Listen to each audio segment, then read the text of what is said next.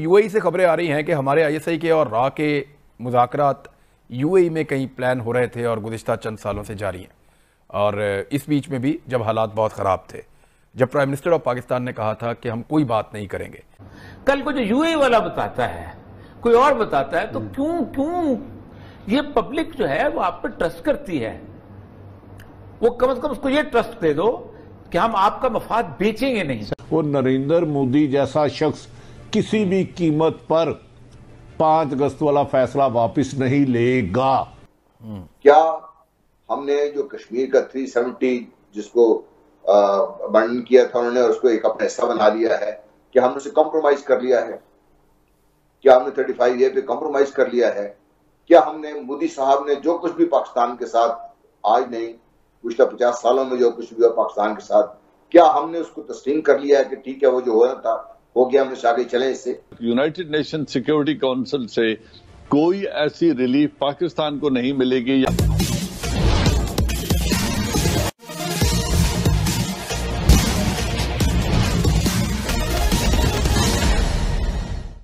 कल यूएई के एक राजनयिक ने पहली बार खुलासा किया है कि भारत की खुफिया एजेंसी रॉ और पाकिस्तान की खुफिया एजेंसी आईएसआई के बीच खुफिया मुलाकातें 2018 से ही यूएई में चल रही है। पाकिस्तान में यह सवाल पूछा जा रहा है कि अगर 2018 से यह मुलाकातें चल रही है, फिर 2019 में भारत ने कश्मीर का विशेष दर्जा कैसे समाप्त कर दिया? क्या इसमें भी पाकिस्तान की सहमति थी? या पाकिस्तान ने कश्मीर पर अपना दावा छोड़ दिया? इन्हीं सब खुफिया मुलाकातें और पाकिस्तान की आशंकाओं के बीच घूमती आज की परिचर्चा पाकिस्तानी मीडिया से। आइए सुनते हैं।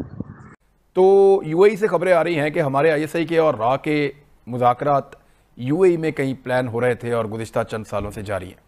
और इस बीच में भी जब हालात बहुत ख़राब थे, जब प्राइम मिनिस्टर ऑफ़ पाकिस्तान ने कहा था कि हम कोई बात नहीं करेंगे। आप आप इसको, क्योंकि आपका मिलिट्री बैकग्राउंड है, आप कैसे देखते हैं इन चीज़ों को? देखिए, मेरा एक जाती नुकता नज़र है कश्मीर के बारे में। मैं पहले वो वाजे कर दूँ तो फिर उसके बाद आगे बात चलेगी। वो ये है कि आज तक बहसीत कौम हमने इस चीज़ को एनालाइज नहीं किया कि कश्मीर भारत को दिया क्यों गया था। जहाँ से मसला ये शुरू हुआ है। उसके बाद से आज तक हम कभी वाजे एक पॉलिसी कश्मीर के बारे में बहसीत कौम हमने नहीं बनाई कि हमने करना क्या है इसके लिए?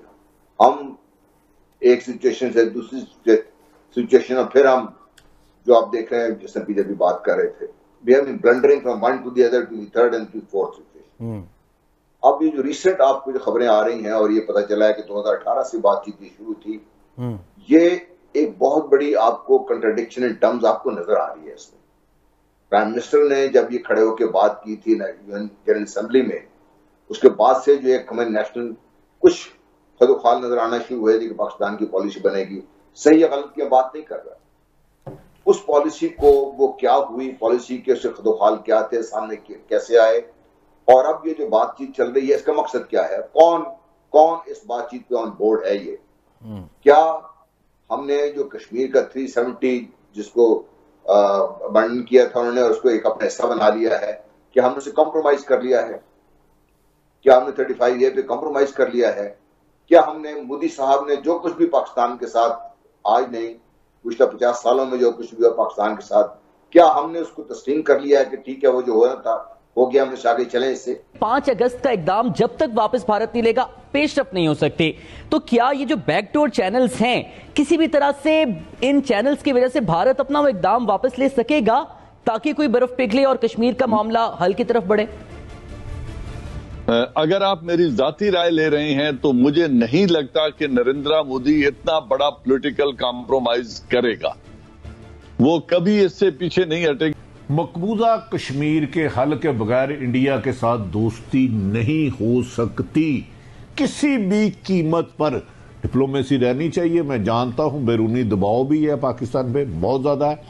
लेकिन आर्मी चीफ वादिया तौर पर कह चुके हैं, वज़ीर अजम पाकिस्तान वादिया तौर पर कह चुके हैं, और नरेंद्र मोदी जैसा शख्स किसी भी कीमत पर पाँच अगस्त वाला फैसला वापस नहीं लेगा।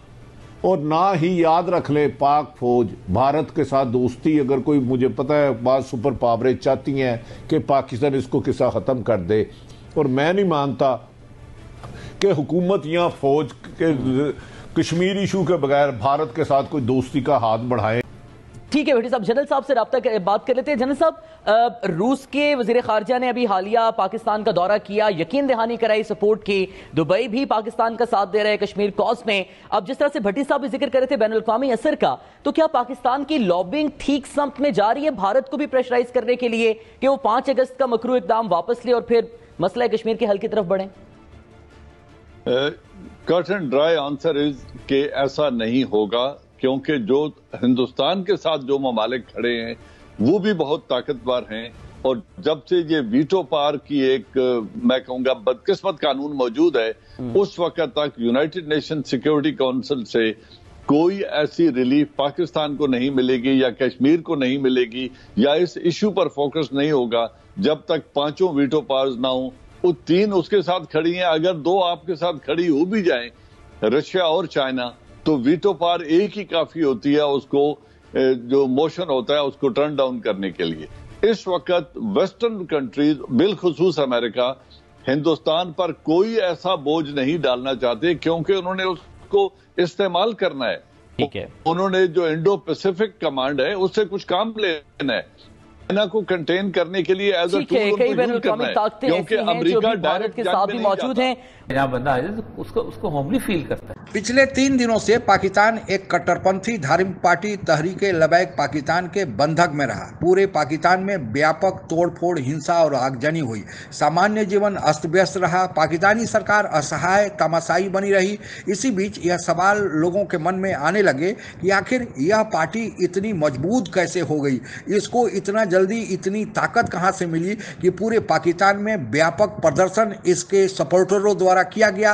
क्योंकि किसी भी पार्टी को चलाने के लिए धन की आवश्यकता होती है, फिर इस पार्टी को धन कौन मुहैया करा रहा है?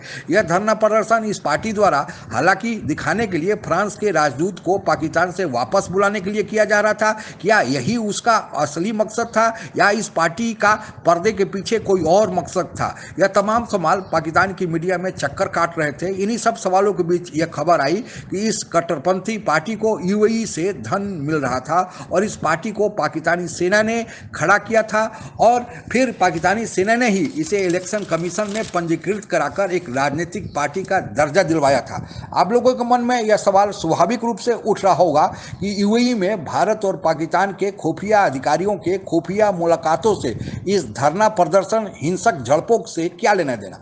दरअसल जो सवाल खुफिया मुलाकातें और उसके बाद भारत द्वारा कश्मीर का विशेष दर्जा समाप्त करना और फिर पाकिस्तान द्वारा कश्मीर के मसले पर कोई ज़्यादा चीख पुकार नहीं मचाना और फिर पाकिस्तान के सेना प्रमुख द्वारा यह कहना कि पिछली बातों को भूलकर आगे बढ़े, इन सब घटनाओं के तार एक दूसरे से जुड़े हुए हैं। इन मामलों के जानकार भारत में तो खुलकर और पाकिस्तान में दबे स्वर में यह स्वीकार कर रहे हैं कि दरअसल पाकिस्तान ने कश्मीर पर भारत का दावा स्वीकार कर लिया है।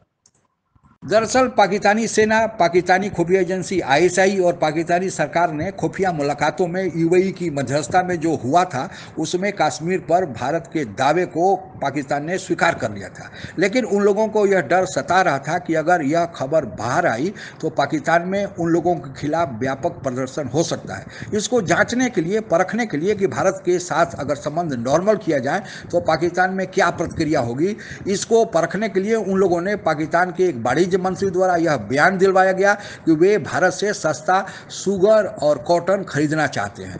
यह बयान के बाहर आते ही पाकिस्तान में इसके खिलाफ व्यापक प्रतिक्रिया हुई कि जब तक भारत कश्मीर पर अपना जो विशेष दर्जा समाप्त करने वाला आदेश वापस नहीं लेता, तब तक कोई वार्ता नहीं होगी।